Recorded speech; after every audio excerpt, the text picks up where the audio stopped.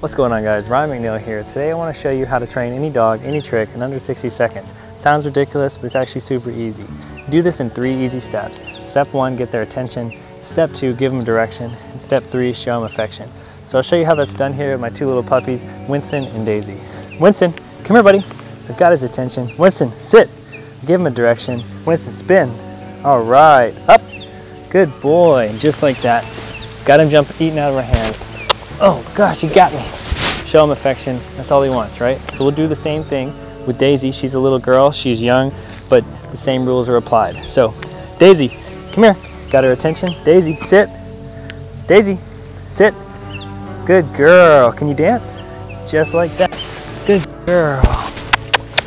Did just what I wanted. So, hope this video helps you guys. Attention, direction, and affection. Three easy steps, train any dog, any trick in under 60 seconds. Hope you have a good day.